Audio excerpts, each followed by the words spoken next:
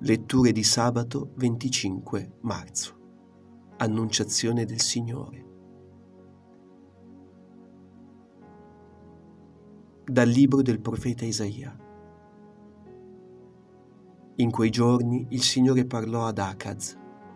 Chiedi per te un segno dal Signore, tuo Dio, dal profondo degli inferi oppure dall'alto. Ma Acaz rispose, non lo chiederò non voglio tentare il Signore.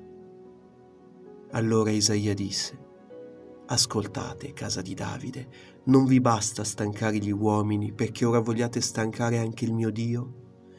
Pertanto il Signore stesso vi darà un segno. Ecco, la Vergine concepirà e partorirà un figlio che chiamerà Emanuele, perché Dio è con noi.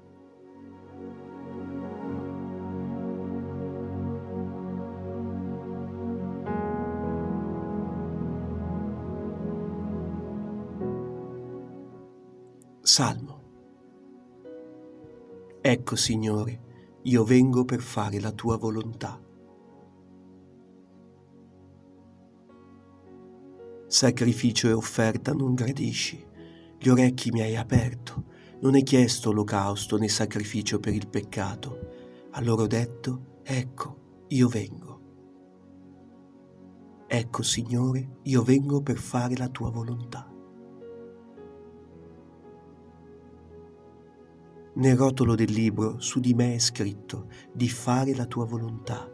Mio Dio, questo io desidero. La tua legge è nel mio intimo.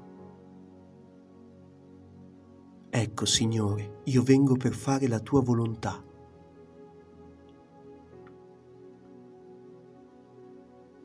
Ho annunciato la tua giustizia nella grande assemblea. Vedi, non tengo chiuse le labbra. Signore, tu lo sai. Ecco, Signore, io vengo per fare la tua volontà. Non ho nascosto la tua giustizia dentro il mio cuore, la tua verità e la tua salvezza ho proclamato. Ecco, Signore, io vengo per fare la tua volontà.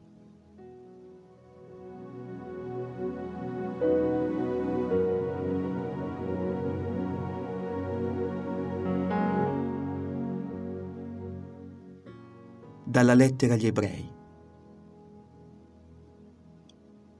Fratelli, è impossibile che il sangue di tori e di capri elimini i peccati.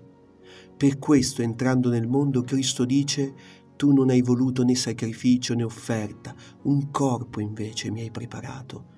Non hai gradito né olocausti né sacrifici per il peccato. Allora ho detto, ecco, io vengo poiché di me sta scritto nel rotolo del libro, per fare, o Dio, la tua volontà. Dopo aver detto tu non hai voluto e non hai gradito né sacrifici né offerte, né olocausti né sacrifici per il peccato, cose che vengono offerte secondo la legge, soggiunge, ecco io vengo a fare la tua volontà. Così egli abolisce il primo sacrificio per costituire quello nuovo, mediante quella volontà siamo stati santificati per mezzo dell'offerta del corpo di Gesù Cristo, una volta per sempre.